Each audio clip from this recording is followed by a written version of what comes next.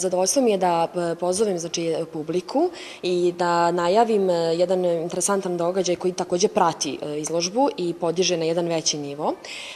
U pitanju je festival Živeo život koji će biti održan upravo na Petrovaradinskoj tvrđavi, znači ovde u centralnoj zgradi Muzeja grada Novog Sada, sledeći vikend, 13. i 14. septembar,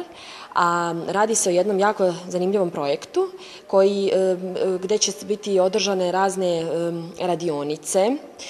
takmičenje u igrama koje podsjećaju na, na, na u igre koje su, koje, koje su tada koristi, koje su tada koristila i deca, znači, na primjer, takmičenje u, u igri klikerima,